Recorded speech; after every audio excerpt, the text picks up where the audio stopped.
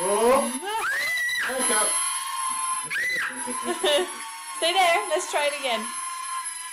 Mm -hmm.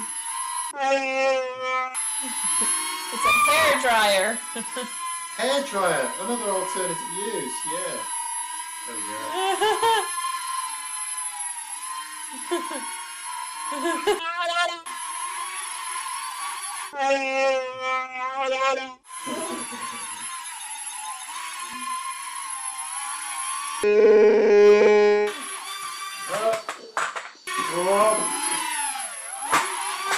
No, that's too loud.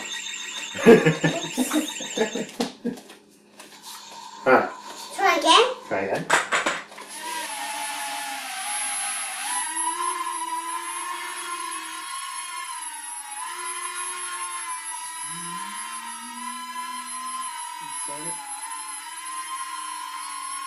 This is a Lego Black Stormtrooper.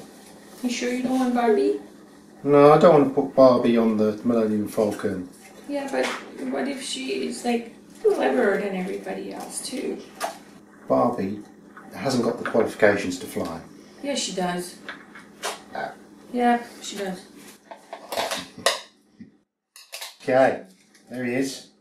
Going to hang like that. Ready? Ready?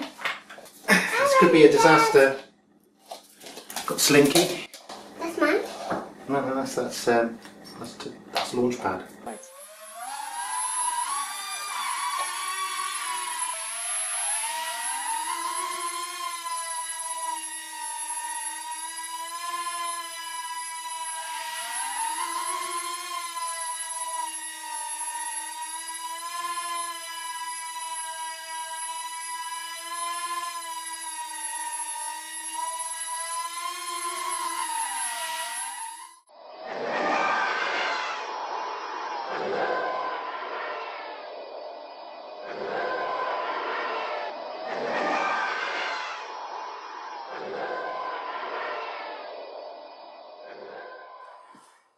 So this little guy is the new remote control Millennium Falcon by Air Hogs.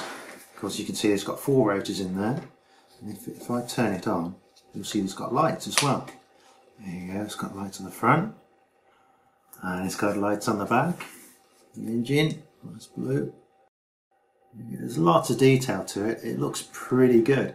It'll also look pretty good hung from your ceiling when you're not flying it. Uh, the remote control takes six batteries. Remote control you've got up, down, left, right. Uh, that's left, right to turn. Yeah. And you've got uh, up, down, left, right to tilt. Up, down, left, right on, here. And uh, as you see from our videos, um, you can't really fly this outside, but inside, this is a great toy to fly. And that's sound effects from coming out this controller. That's connected. Soon as you start, that's it. Got a little bit of power. Let's not move this one about. Let's see.